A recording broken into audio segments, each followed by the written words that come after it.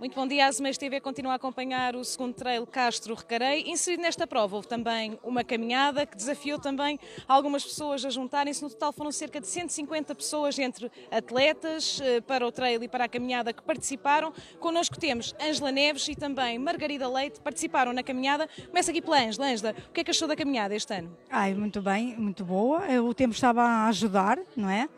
E uh, foi porreirinho, ninguém se magoou e acho muito, muito positivo, mesmo para conversar com pessoas que não que já há muitos anos que a gente não conversa e tudo muito bom, muito bem. Angela participou no ano passado ou devido à chuva? Já do ano passado foi a chuvita. A chuvita que, pronto, não estava muito. Foi nas vésperas de um temporalzito e não vim. Mas com muita pena. Mas este ano. Sou novamente graças ao bom tempo. Ao bom tempo, sim. E, Vamos perguntar também aqui à Margarida. Margarida, o que é que achou do percurso?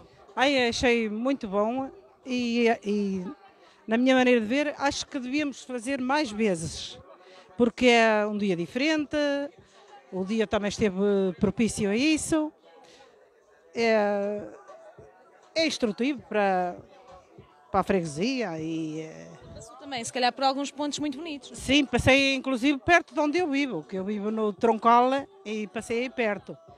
E acho que se devia tomar mais iniciativas eh, a este nível.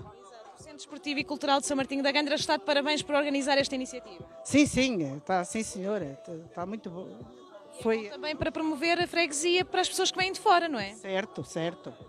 Acho que estiver, tem estado muito bem.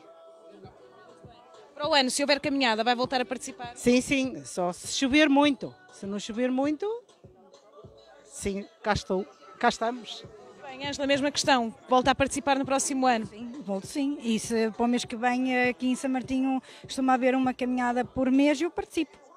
E esta, esta, atividade do Centro Esportivo e Cultural São Martinho da Gandra faz sentido, continua, continua a existir, o Clube está de parabéns também por ter iniciado, eh, por ter esta atividade. Claro, claro que sim, que eu acho que havia de continuar e, e, e, e o povo de São Martinho havia de ajudar mais eh, a participar. Muito obrigada a ambas pela entrevista. A Azeméis esteve a acompanhar este segundo trail solidário Castro Recarei. Está a decorrer aqui em São Martinho da Gandra ao longo desta manhã. A Azeméis esteve a acompanhar os momentos de chegada à meta e também falar com alguns participantes sobre a importância desta prova para a freguesia.